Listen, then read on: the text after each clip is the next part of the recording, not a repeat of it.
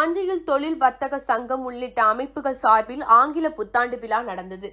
இந்த விழாவிற்கு சங்க தலைவர் பல மாரவர்மன் தலைமை தாங்கினார்.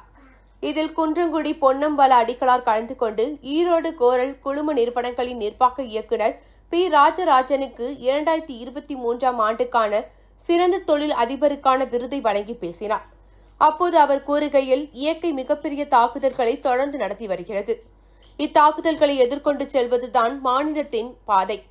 ஒரு காலத்தில் உலகத்திற்கே நெற்களஞ்சியமாக திகழ்ந்தது தஞ்சை. உலகையே வாழ வைத்தது தஞ்சை மண்.